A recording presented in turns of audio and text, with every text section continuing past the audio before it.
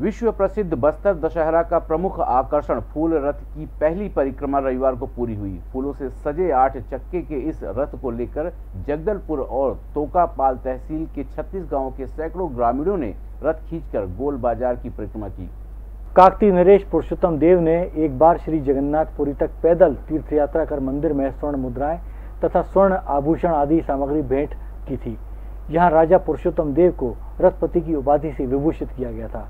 जब राजा पुरुषोत्तम देव पूरी धाम से बस्तर लौटे, तब उन्होंने धूमधाम से दशहरा उत्सव मनाने की परंपरा का शुभारंभ किया और तभी से गोंचा और दशहरा पर्वों में रथ चलाने की प्रथा चल पड़ी। दशहरा में शारदीय नवरात्र की द्वितीय तिथि से सप्तमी तक फूल रथ को खींचने के लिए हर वर्ष बड़ी संख्या में जगदलपुर और तोकापाल तहसील से 36 गाँवों के ग्रामीण पहुँचते हैं।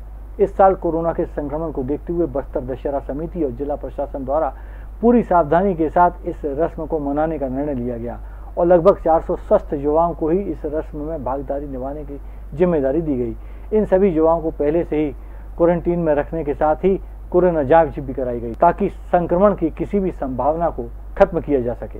कि जो बस्तर का जो ऐतिहासिक दशहरा है विश्व प्रसिद्ध दशहरा है, उसको इस सादगी के साथ, कोरोना के समय मनाने के हिसाब से लोगों का, विशेष रूप से हमारे मांझी चालकी का, साथ में जनता का भी बहुत सहयोग मिल रहा है। बड़ी संख्या में लोग वर्चुअल माध्यमों से दशहरा में जुड़ रहे हैं, नवरात्रि की पूजा में जुड़ रहे हैं और इससे मैं मानता हूँ कि एक लोगों में एक बहुत ही अच्छा जागरूकता है और कोरोना को देखते हुए हम लोग पूरे रीति रिवाज के साथ चीज़ों को करा पा रहे हैं। संगीत की स्वर लहरियों से सांस्कृतिक ताने बाने तक। चंबल के पीड़ों से नक्सलवादियों के गढ़ तक। झोपड़ी से महलों तक। ठेलों से मेलों तक। पगडंडियों से सड़कों तक। गाँव से शहरों तक। व्यापार से उद्योगों तक। राजनीति से कूटनीति तक। दखन न्यूज़। आपके हक